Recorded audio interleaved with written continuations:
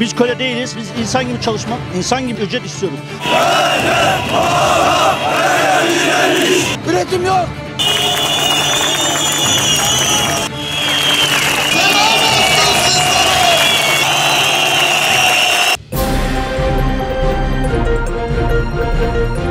İstanbul Tuzla'da bulunan Mata Otomotiv işçileri, taleplerinin karşılanmaması ve işveren baskısının artması üzerine iş bırakıp direnişe geçtiler.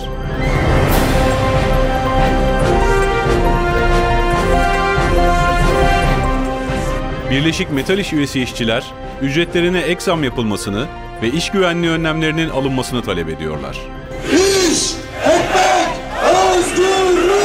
Biz asgari ücret değil, biz daha fazlasını istiyoruz. Biz ondan e, atla deve istemiyoruz. Sadece bizi rahatlatacak bir ücret istiyoruz. Yani biz komple fabrikayı sırtımıza alıp gitmek istemiyoruz.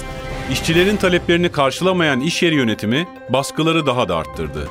Mobbing var. İnsanlara baskı var. Bu insanlara tutanak var.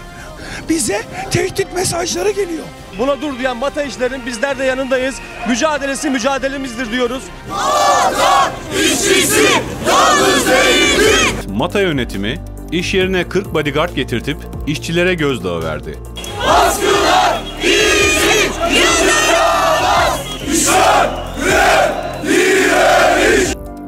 Disk ve Birleşik Metal İş Yönetimi çok sayıda fabrikadan işçiler Tuzla'daki Endüstri ve Ticaret Serbest Bölgesi girişinde Mata işçilerine destek veriyorlar.